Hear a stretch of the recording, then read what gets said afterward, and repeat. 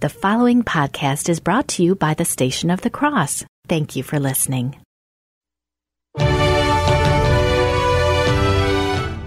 You could have read the book already or written it yourself. You're a good interviewer. You got good questions. You've got good comments more so than most. When you talk about emerging adulthood, 27, 28, in most periods of history, the majority of people were dead by then. so I think they've miscalculated. I would do this for free. I hope my pastor's not hearing me, but this it's, it's, what, it's what we do and it's what we're called to do. Both socialism and communism have been explicitly condemned by popes, starting with Leo XIII in the 19th century. Praise be Jesus Christ. This is Father Robert McTeigue of the Society of Jesus, your daily host for the Catholic Current, where we plug into the power of Jesus Christ and His Catholic Church. You're listening to us on the Station of the Cross Catholic Radio Network and the iCatholic Radio app, where we proclaim the fullness of truth with clarity and charity. As always, let's start with prayer. In the name of the Father, and the Son, and the Holy Spirit. Almighty God, we ask through the intercession of St. Ignatius Loyola that you pour forth your Holy Spirit upon us, a spirit of discernment, that we might hear your voice and obey your command. Well, friends, not long ago there was a worldwide synod on youth taking place in Rome, and it's I think it's time for us to reflect on the fact that. Uh, a lot of the youth have not only voted with their feet, a lot of them haven't entered the church at all. Uh, among young people, the the large, the most uh, rapidly growing religious demographic is none of the above. Here to talk to us about that is our returning guest, senior editor of First Things, Matthew Schmitz. Welcome back to the Catholic Current. Thank you for having me back, Father. Matthew, back in March, you wrote an article for um, First Things called What Young Catholics Want, and you started off with a, really surprising and disturbing description of a photoshopped uh, photograph of a, a, young priest with some young people. Can you tell us about that and what your, your thoughts are on that? sure. Well, this was. Uh for a fundraising newsletter sent out, or kind of pamphlet sent out by a few uh, dioceses in France, um, and, and there was an image of a young priest with a couple of young people, uh, you know, just kind of the face of young French Catholicism, different races, uh, you know, men and women, and the young priest was wearing a cassock, which is pretty common among young priests in France. You know, just as you would see that on a lot of, say, young American priests in Rome today, even if they're not necessarily wearing it here back in the states. Uh, but a couple of these French dioceses uh, uh, photoshopped out the uh, buttons on on the priest's cassock, and they photoshopped in blue jeans to make him look uh, kind of more hip and with it. So uh, I I just had to comment on that because um, you know that's a kind of uh, almost an you could say an older person's idea of what young people are like. Well, they must you know they must wear blue jeans, they must like rock and roll but this is a young priest who wears a cassock, and maybe he prefers Palestrina to Bob Dylan and the Beatles. uh oh.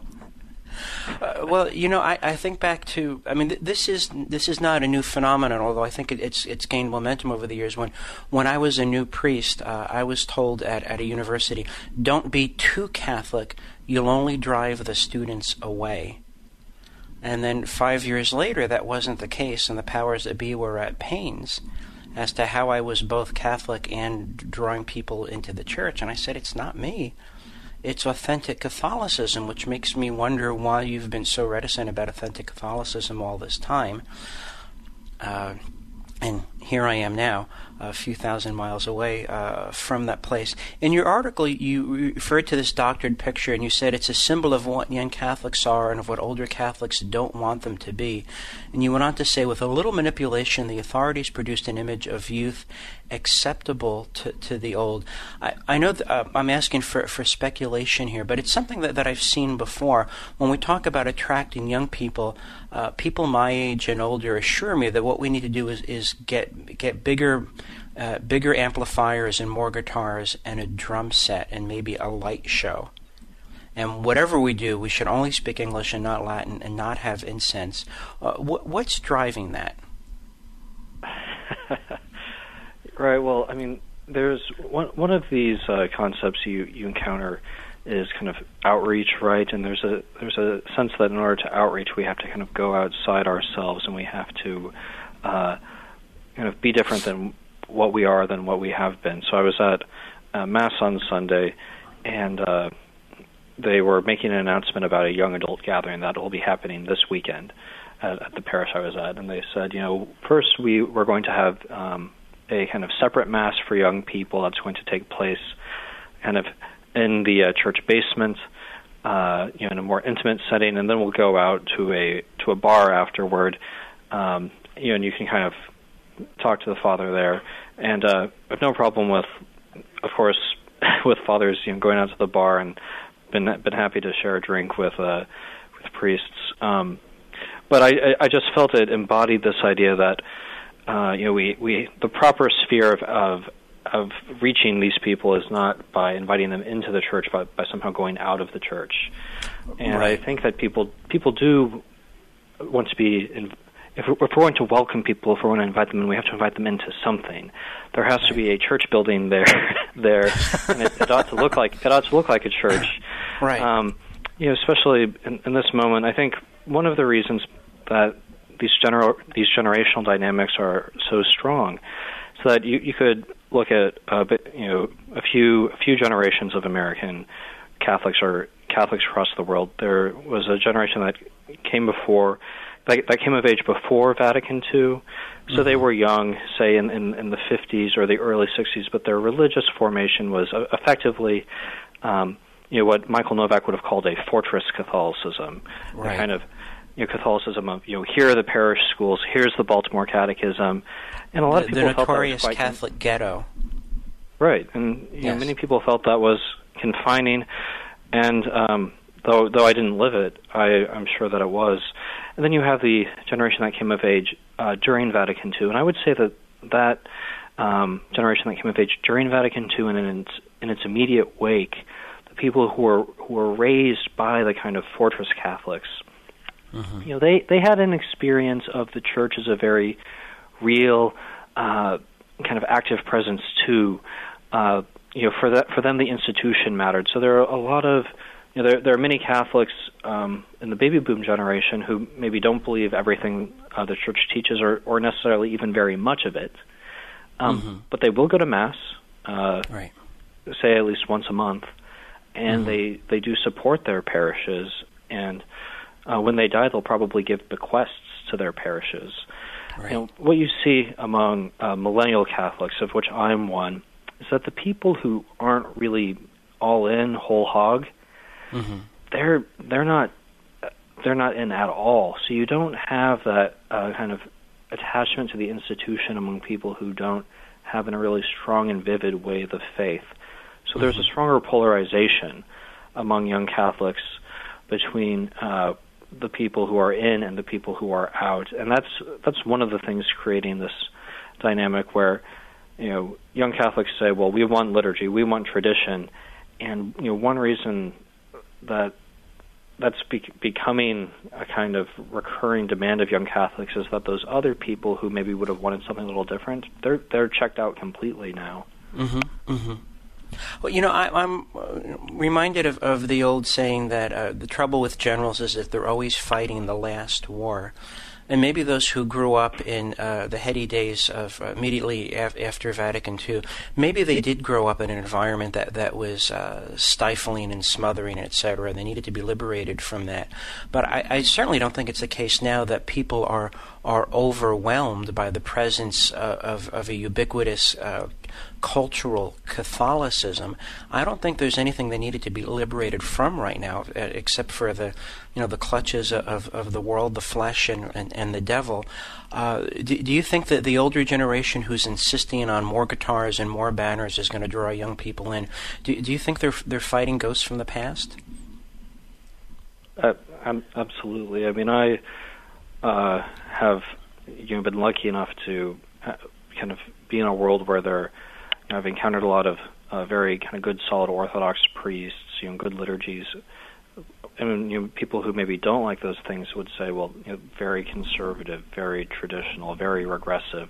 But in all that time, trying to, you know, when I've knocked around this world where there are, you know, uh, you know, priests, parishes who are who are relatively uh, sympathetic to what you know Novak would have called that fortress Catholicism, and you know going to confession, um, you know just kind of during anonymous confession hours or whatnot. I don't think I've ever received a, a severe penance or Mhm. a stern talking to. I have sometimes had priests say, "Well, are you sure that's a sin?" When I'm I'm not being I know I'm not being scrupulous. I remember one time confessing that I had uh, got drunk, um, Mhm. which one really ought not to do. Right. And and so I I confessed that, and he said, "Well, are you know are you sure that's a sin?" I thought, well. I didn't argue with him, but I thought, yeah, I kind of think it is. So, um, it's uh, you know, I haven't encountered that kind of you know, there's that image of the very harsh, judgmental church, you know, the kind of priest wagging his finger, and uh, uh, un- you know, men make mistakes of all kinds, and Sure. No, no doubt there are people who have run into those cases, and I'm not trying to deny it, but I would say that I don't believe it's as common as uh, laxity, as um, a kind of nonchalance uh, or harmful indifference. Right. You know, like the recent admonitions about not turning the confessional into a torture chamber or stop preaching in such a way that indicates our obsession regarding abortion, homosexuality, and contraception. I don't know what prompted that person to say those things because that hasn't been my experience, the experience of most people that I know. When we come back, we're going to continue our conversation with Matthew Schmitz, senior editor of First Things, and we're going to talk about uh, the recently concluded Synod on Youth and get Matthew's take on that. You don't want to miss this interesting conversation with a, a thoughtful and intelligent man who is deep in the faith. Stay with us. We'll be right back.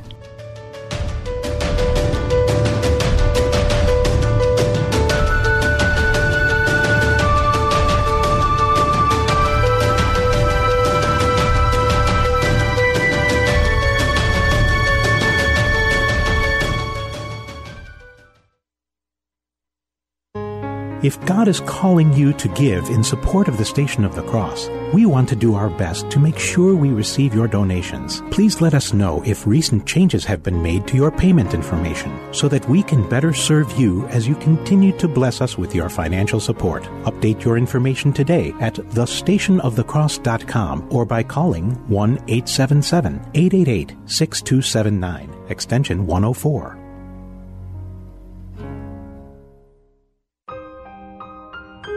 This Divine Mercy reflection is from the diary of St. Maria Faustina.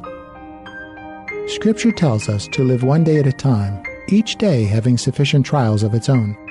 In paragraph 1655, St. Faustina echoes this same sentiment. O Christ, if my soul had known all at once what it was going to suffer during its lifetime, it would have died of terror at the very sight. It would have not touched its lips to the cup of bitterness but as it has been given to drink a drop at a time, it has emptied the cup to the very bottom. O Christ, if you yourself did not support the soul, how much could it do of itself? We must live one day at a time and drink from the cup of God's will one drop at a time. In this way, we will endure and overcome life's trials and live fully in the will and peace of God. This Divine Mercy Reflection is brought to you by the Station of the Cross. I am wonderfully made.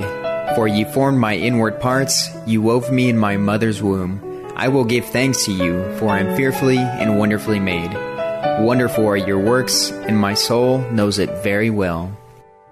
I am an entirely new, unique, and unrepeatable action. Human life is sacred. Think about it. CoalitionForLife.com.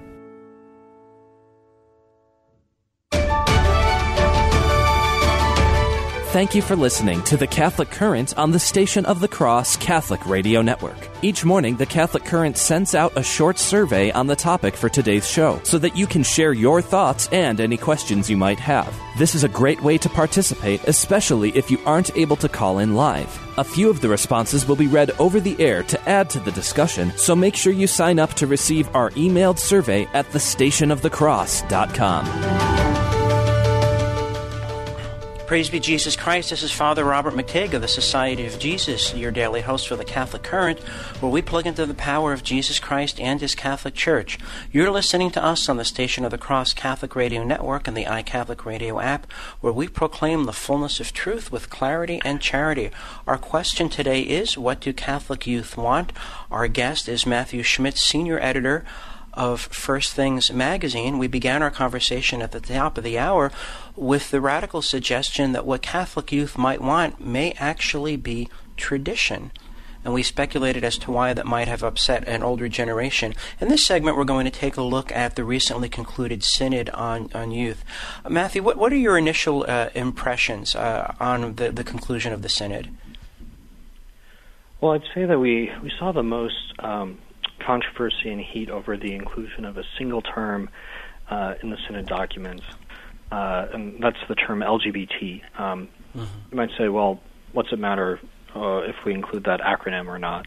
And I, I think you could just say it was a it was a largely uh, symbolic fight about how open the church should be to uh, to new sexual identities, say to the sexual revolution generally, mm-hmm. and uh, ultimately to kind of uh, you know the kind of you call it the bourgeois bohemian lifestyle of of the West. So you would have you know African bishops or bishops from uh, poor nations, poor European nations like Poland and Hungary opposing that initiative, um, right. and then bishops from uh, from the from the richer countries being the main ones uh, pushing it. So I think you know we we saw that, and how much does that have to do with young people?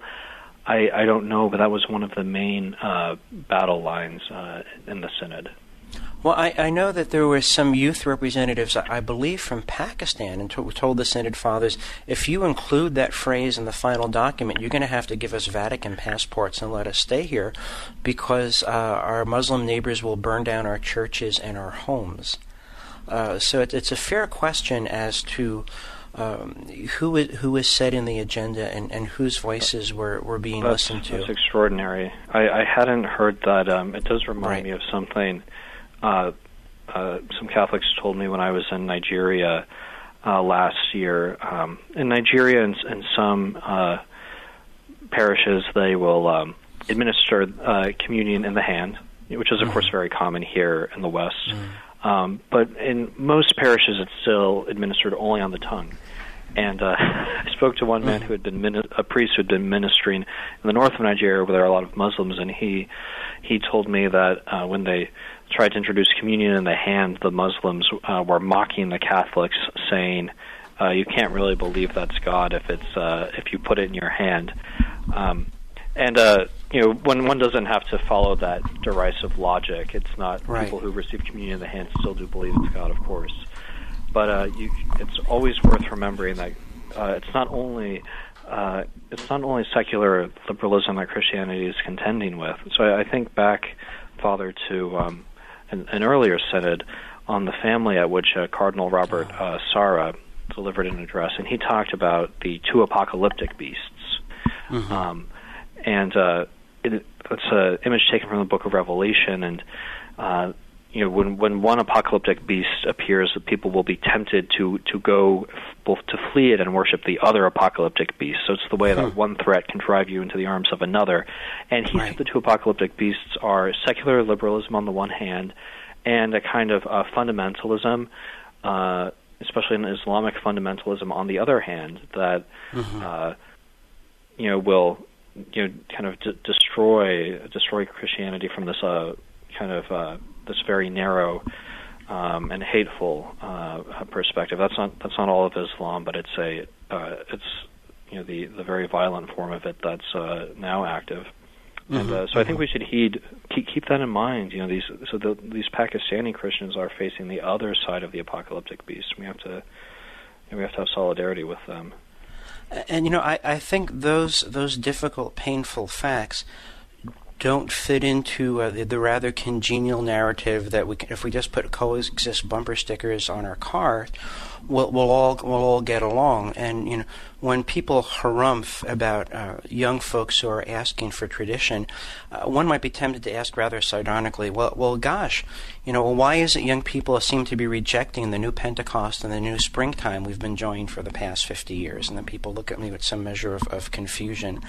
Uh, so I'm, I'm just dubious about uh, about people who claim to know better than what the church has always done and what the church has always taught for uh, for reaching young people. I've been looking at your Twitter feed this morning, uh, Matthew, and, and, you have some references to the goings on uh, in France. There's a, a, lot of social unrest these days, and you you mentioned uh, in, in, some of your, your news observations that uh, that the unrest, the social unrest, is not only driven by, by the young, but by those who are identifying a, as Catholic. And uh, it's been the case for several years now that the uh, majority of ordinations in France are with traditionalist communities like the Fraternity of St. Peter and the Institute of Christ the King. And, and it puzzles me because, you know, France has prided itself on being anti-clerical and, uh, and non-religious for at least 100 years, 150 years. Do you have a sense of what's taking place am- among the, the youth in, in France and, and what's driving them now?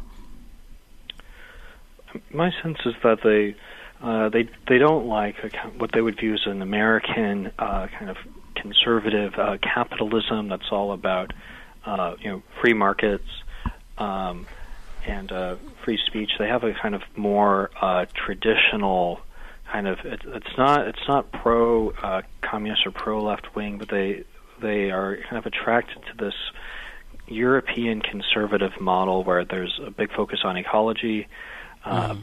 a big focus on social conservatism, and that's bound up with their with their notion of uh, tradition.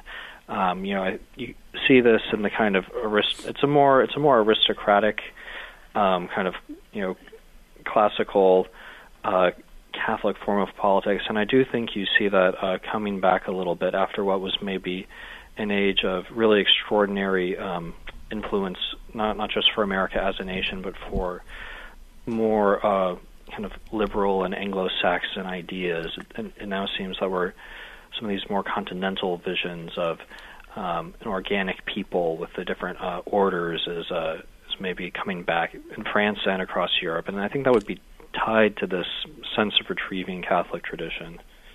Could you say a little bit more about what you mean by social conservatism in this context?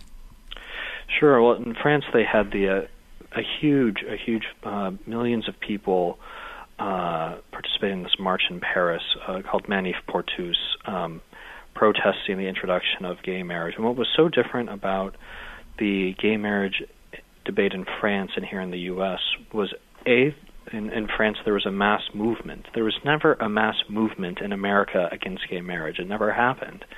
Mm-hmm. Uh, there, there's a mass movement against abortion. A lot of people didn't favor gay marriage, but they mm-hmm. never uh, they never went to the streets.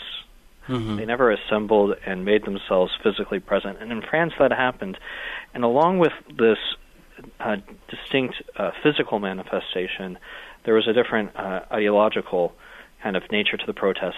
They focused uh, much more than American opponents of gay marriage did on the idea that children, each child has a right to a mother and a father. Hmm. And so it was more about uh, the notion of inheritance, the obligations between generations, than it was in America. Here in America, we had a more, somewhat more abstract debate about what is the nature of marriage. So our main mm-hmm. focus a little bit more on the partners and less on the children.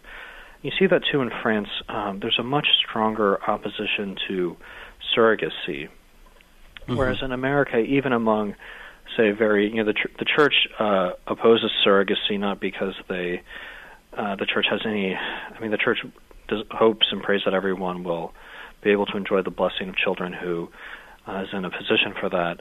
Mm-hmm. Uh, but the, church opposes the creation of uh, these embryos that are that are then almost always destroyed in the process of uh, right. in the right. surrogacy process.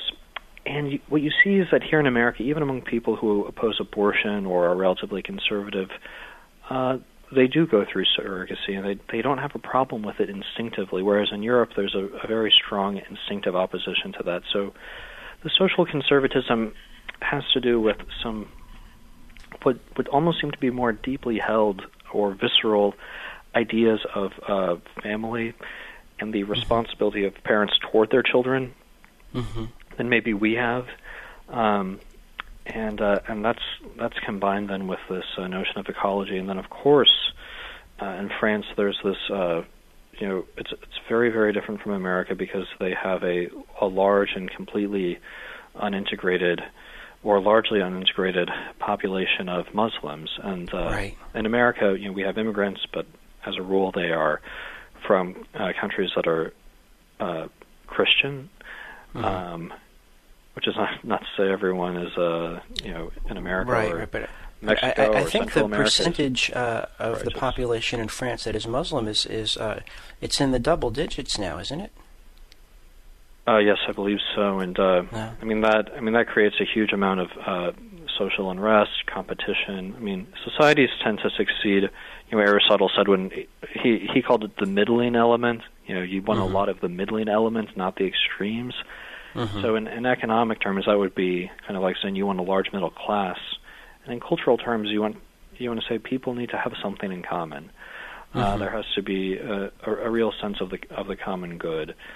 Um, that doesn't mean we all have to have the same religion per se, this, that, or the other, but uh, uh, somehow you've got to hold the country together. and that's going to be rooted, among other things, in a, a shared sense of heritage and history, and I think a commitment to building a, a common future. Uh, and I think one could make a, a pretty easy case that uh, you know Catholics in France, you know, tracing their lineage back to, to Charlemagne and beyond, um, certainly have a different heritage than the followers of, of the prophet. And I think that when uh, faithful Catholics look forward to the future in France, it's very likely to look different than uh, Muslims and living in France when, when they look at, at the future uh, in France. And yet it seems to be impolite to, to, to state these things. Has that been your experience?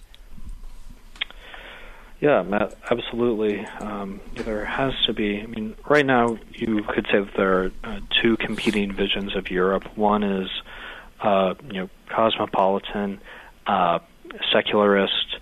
Um, it's it's about freedom, uh, liberation, openness, and uh, the other, and that's the vision kind of embodied in the current leadership of the European Union.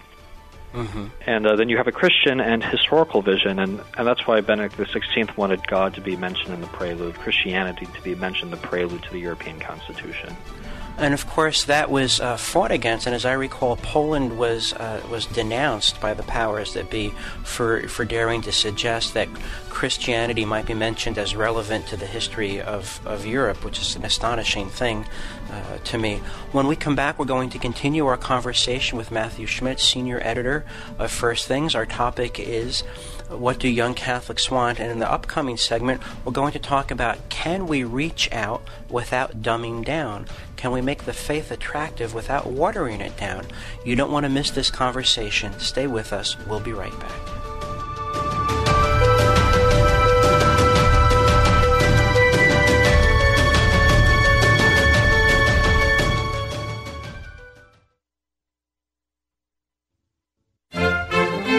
The Liturgy of the Hours is prayed three times a day on the Station of the Cross at 5 a.m., 3 p.m., and 9.30 p.m. Eastern. The Liturgy of the Hours is a meditative and efficacious way to foster habitual prayer. It is the daily prayer of the Church, prayed throughout the world by priests, religious, and laity. For details about each hour and for more information about the Liturgy of the Hours, visit thestationofthecross.com. Our family is made up of every race. We are young and old, rich and poor, men and women, sinners and saints. Our family has spanned the centuries and the globe. With God's grace, we started hospitals to care for the sick. We establish orphanages and help the poor. We are the largest charitable organization on the planet, bringing relief and comfort to those in need. We educate more children than any other scholarly or religious institution. We developed the scientific method and laws of evidence. We founded the college system. We defend the dignity of all human life and uphold marriage and family. Guided by the Holy Spirit, we compiled the Bible. We are transformed by sacred scripture and sacred tradition, which have consistently guided us for 2,000 years. We are the Catholic Church, with over 1 billion in our family, sharing in the sacraments and fullness of the Christian faith. Jesus laid the foundation for our faith when he said to Peter, the first pope, You are rock, and upon this rock I will build my church. For over 2,000 years, we've had an unbroken line of shepherds guiding us with love and truth. If you've been away from the Catholic Church, we invite you to take another look. Visit CatholicsComeHome.org today. Ours is one family, united in Jesus Christ, our Lord and Savior. We are Catholic. Welcome home.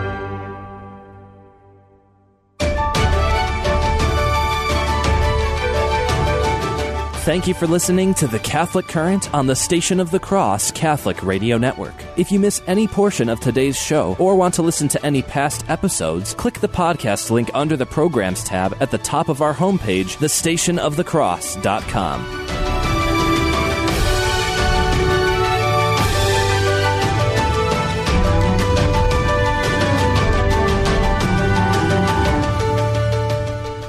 Praise be Jesus Christ. This is Father Robert McTeigue of the Society of Jesus, your daily host for the Catholic Current, where we plug into the power of Jesus Christ and His Catholic Church. You're listening to us on the Station of the Cross Catholic Radio Network and the iCatholic Radio app, where we proclaim the fullness of truth with clarity and charity.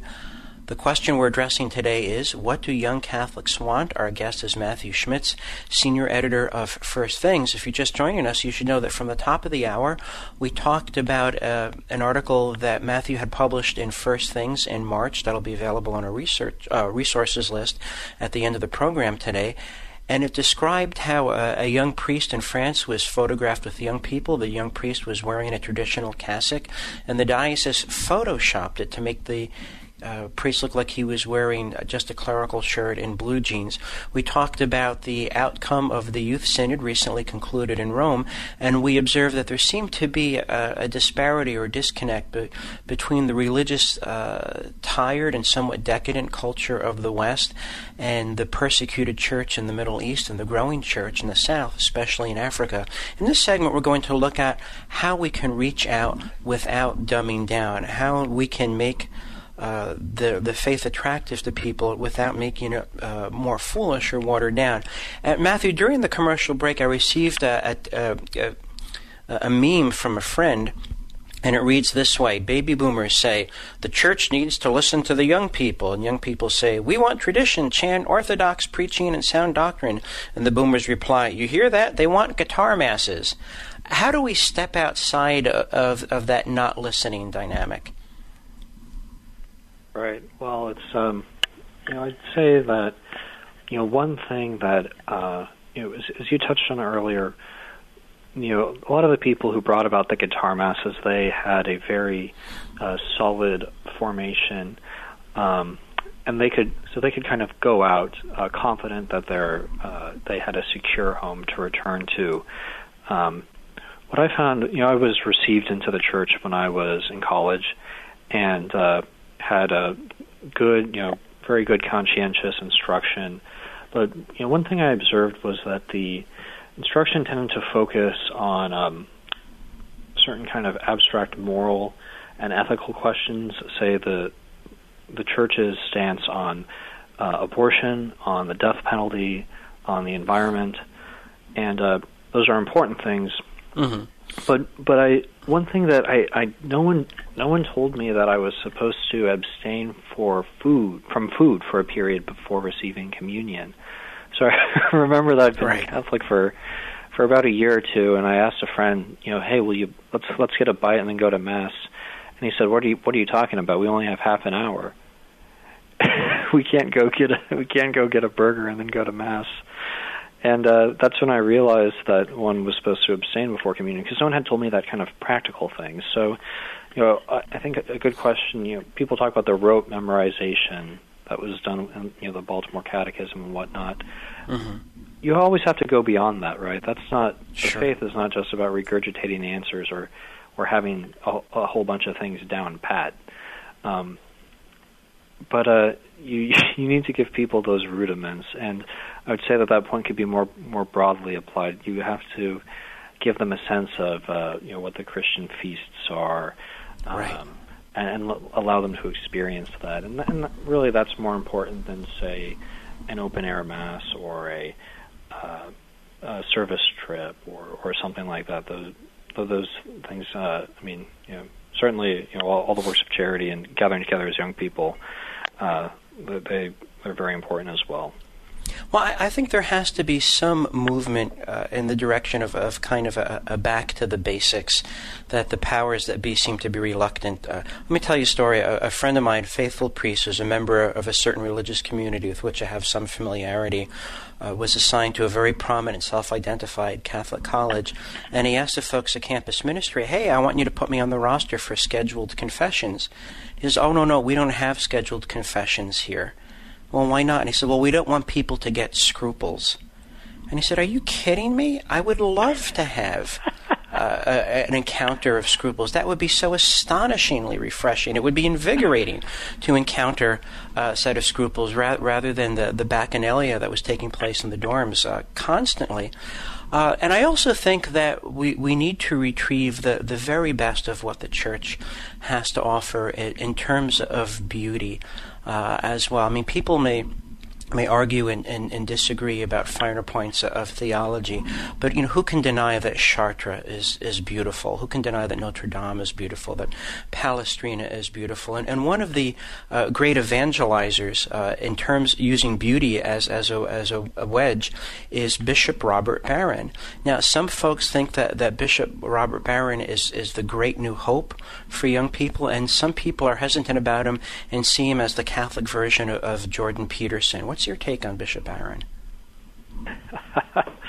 the Catholic version of Jordan Peterson. Well, you know, I, th- I think Jordan Peterson has done a fair bit to help people, but the thing, you know, Peterson, he, I think Peterson, like a lot of his followers, he he's searching for something real, but he doesn't quite know where to find it. The thing about Bishop Barron is he knows he knows where to find it, and he he directs people to to the truth. Um, he's you know w- one of the uh, few bishops we have in America, uh, and really one of the few bishops in the world in his generation who has a, a very real and serious theological education, which he Mhm. received at, uh, in Belgium before the uh, kind of Catholic faculty there uh, was you know, effectively shut down, Right. and uh, priests, American priests, started getting educated in Rome uh, more exclusively.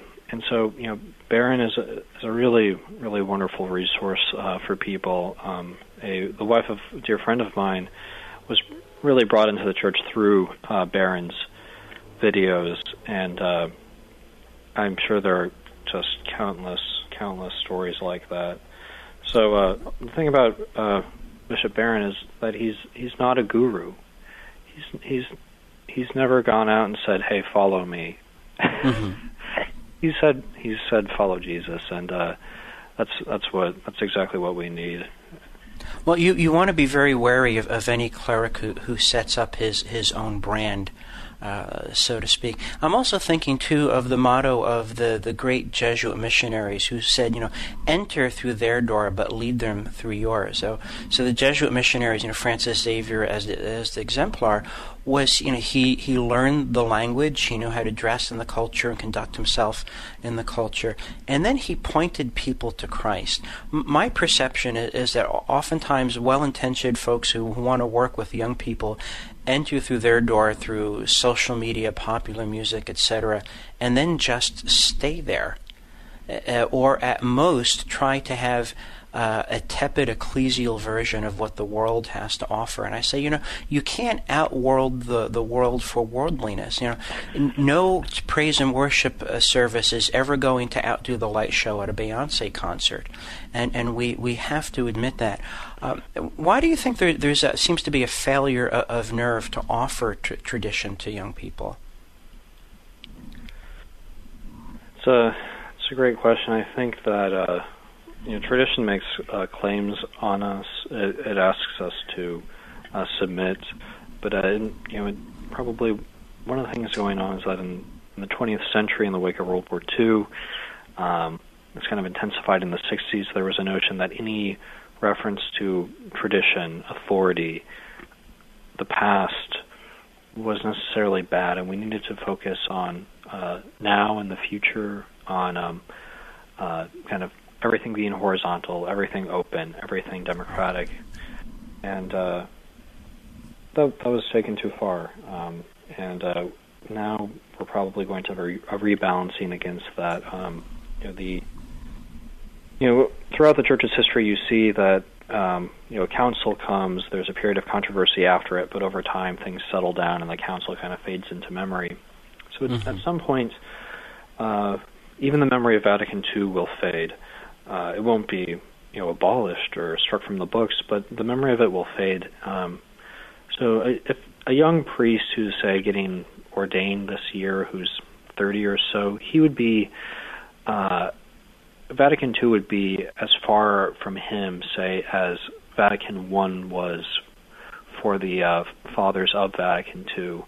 So we're we're getting to the point where some of these young priests, you know, they are. Um, I, I don't think we'll have Vatican III so soon. Um, Thank you, Jesus. Would not, would not would not be a good thing, but right. we are we are getting uh, we're getting past the council a little bit. So you'll probably see debates about the precise meaning of the council, uh, how to interpret it, how to implement it, uh, fading a bit because it won't have been a real lived experience for uh, for say young clergy, young Catholics. I, I mean, I can't imagine anyone under 40 uh, talking about the spirit of Vatican II. Uh, for example, uh, uh, you know, but you know that and that phrase "Spirit of Vatican II" is as as as elastic as as the new evangelization. You know, why do we need new hymnals? Well, the new evangelization. You know, why do we need to have uh, more bingo than ever before? Well, it's it's the new evangelization. Uh, I think we have to be be cautious uh, about the, those really plastic uh, phrases that can be reshaped. Uh, to mean anything uh, that that we want them uh, to mean. there are some folks who say that that uh, you know if the generation doesn't want to hand on tradition, it's not necessarily because of you know bad memories of you know ghetto Catholicism or so-called fortress Catholicism, but there's a lack of faith in the tradition itself. You know, that the old Broadway song said, you know, you got to have a gimmick, and if you don't believe in your product, then then you need uh, a gimmick. Do do you think it's an overinterpretation to say that the people who are reluctant to hand on the tradition have lost faith in the tradition? No, no, uh, not not at all. I mean the why why would we want to talk about the spirit of Vatican II when we can talk about uh, you know the Holy Ghost, and that's why all these um, say being against uh, Catholic tradition or uh, it's it's so odd to to have that answer. When I if someone says you know I support you know I'm I love the spirit of Vatican II, you're opposed you're doing two things there. You're one you're opposing the spirit uh, to the letter, um, which is could be a very dangerous thing to do because you're kind of downgrading mm-hmm. what it actually says, mm-hmm. and then you're also opposing Vatican II itself, probably to, to the tradition of the whole church, as if it's. Right uh, you know altogether distinct instead of instead of a you know some some form of the hermeneutic of continuity. Mm-hmm.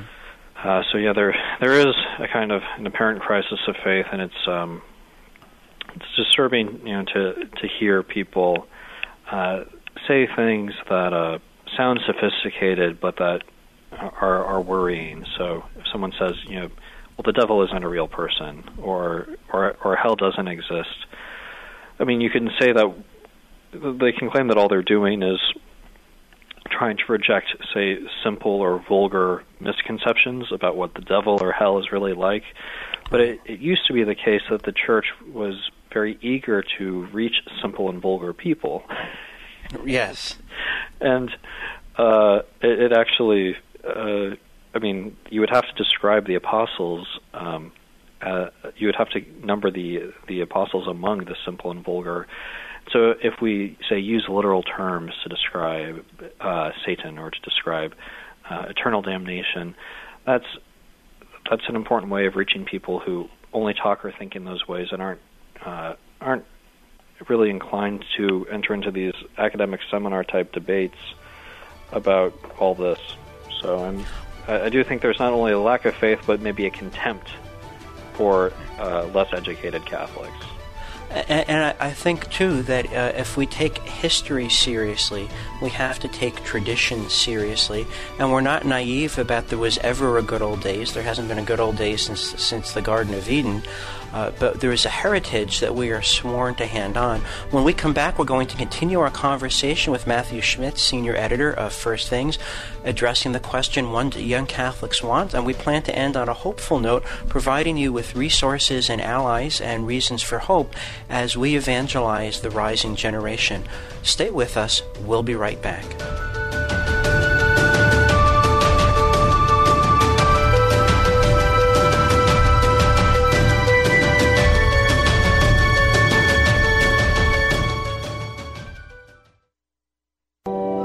The Station of the Cross invites you to join us each day for the Liturgy of the Hours at 5 a.m., 3 p.m., and 9:30 p.m. Eastern. The Liturgy of the Hours is the daily prayer of the Church and is made up of readings from sacred scripture, writings from saints and theologians, and small reflections.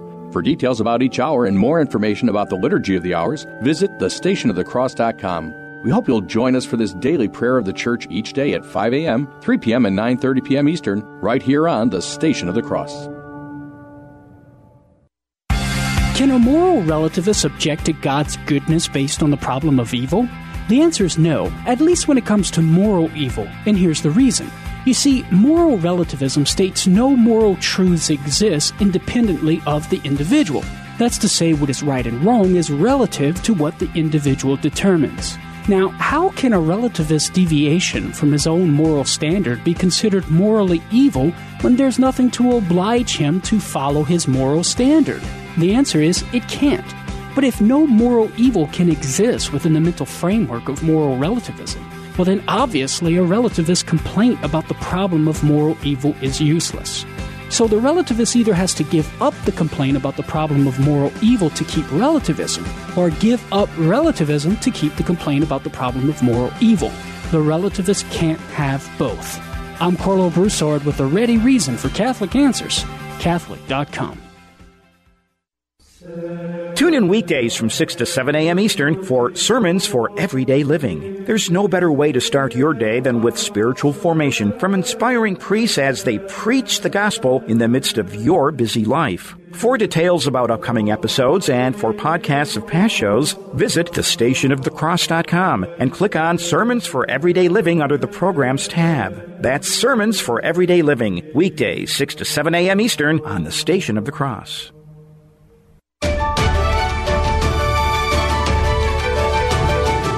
You're listening to The Catholic Current on the Station of the Cross Catholic Radio Network. Shortly after today's show, visit our page for The Catholic Current at thestationofthecross.com. Here you'll find a link to Father McTeigue's recommended reading list and a link for downloading the program so that you can share it with your family and friends.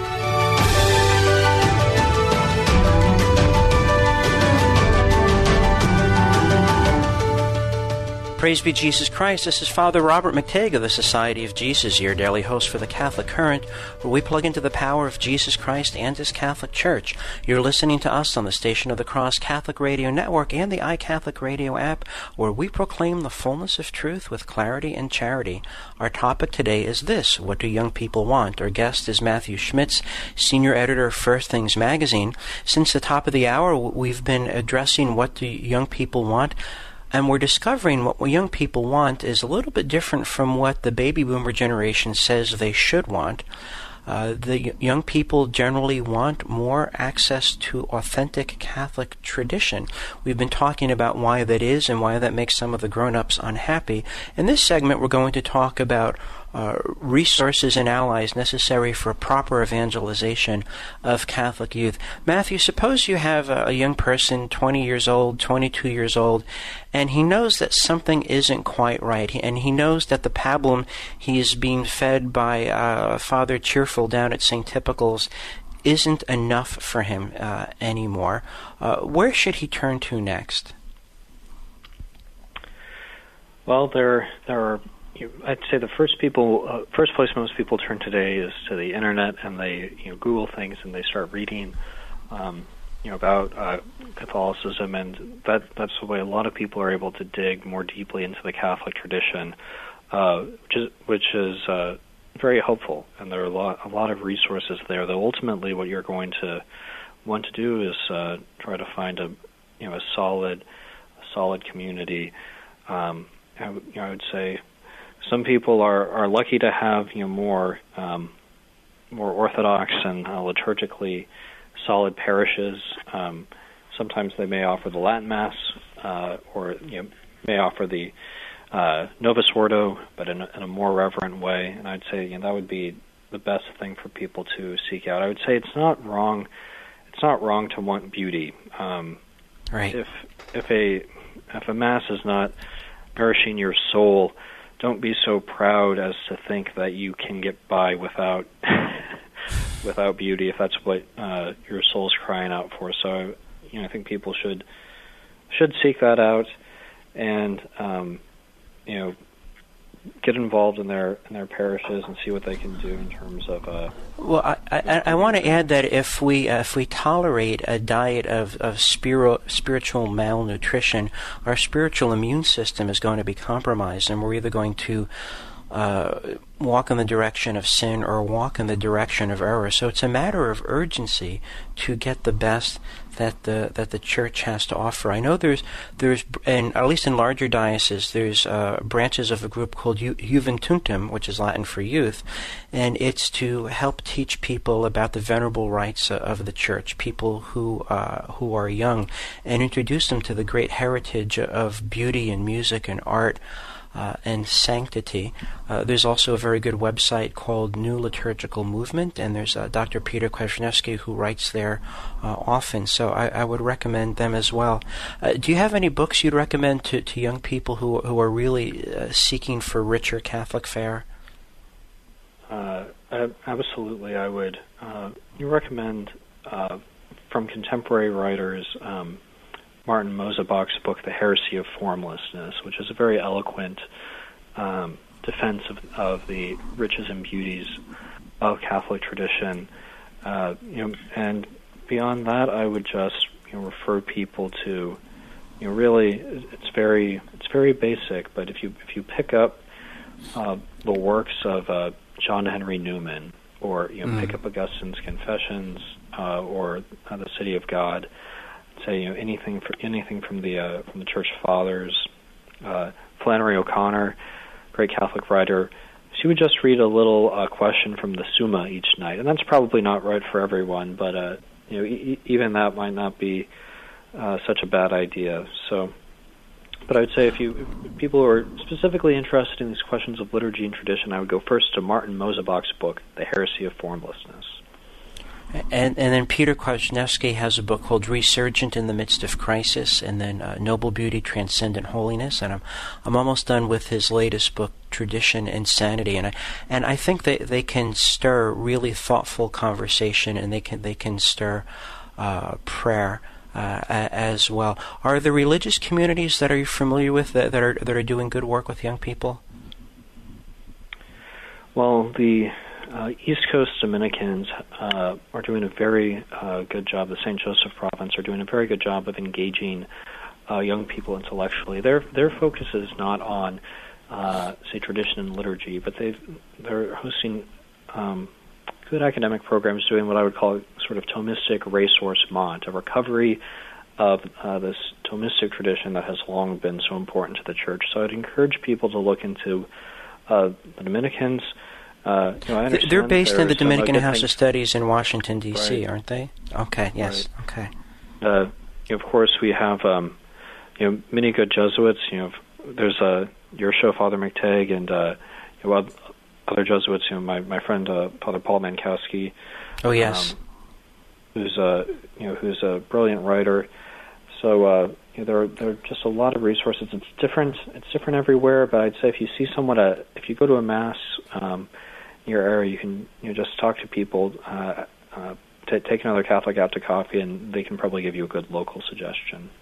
Right, and in terms of good Jesuit writers, uh, Father James Schall, S C H A L L, who is unbelievably productive. I don't think he's slept in the last seventy years. He's written so much, and it's all of uh, of really stellar quality.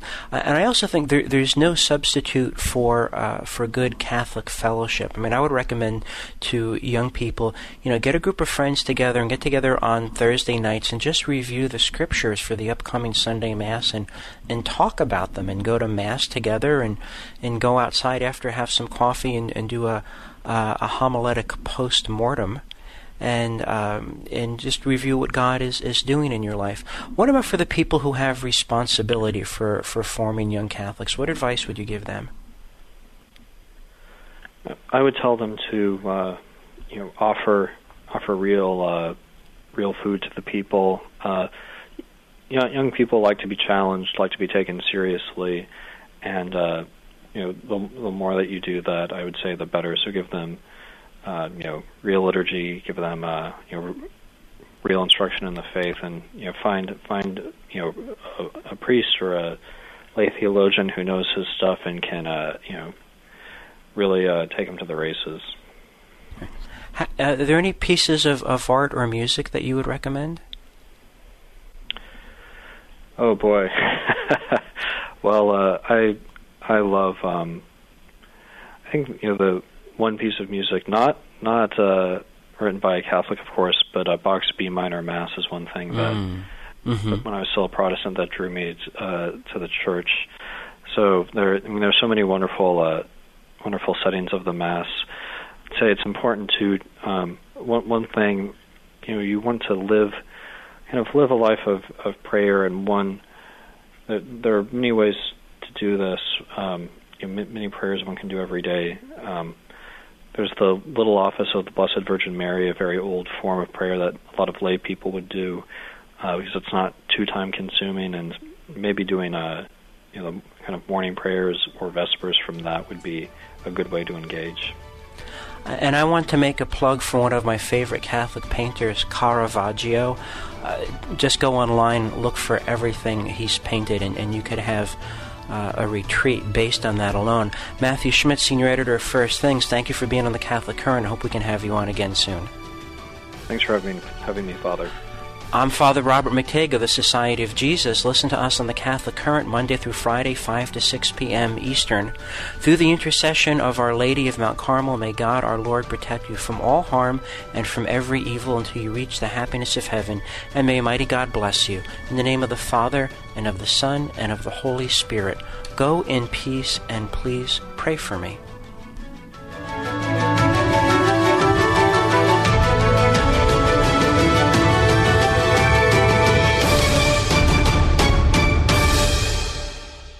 Thank you for listening to this podcast brought to you by the Station of the Cross. The Station of the Cross is a listener funded nonprofit organization. If this podcast has helped you in your spiritual journey, please consider making a donation. Donations can be made through our website, thestationofthecross.com, or by calling 1 877 888 6279. You can also donate right through our free iCatholic Radio mobile app. Thank you for listening to and supporting the Station of the Cross, proclaiming the fullness of truth with clarity and charity.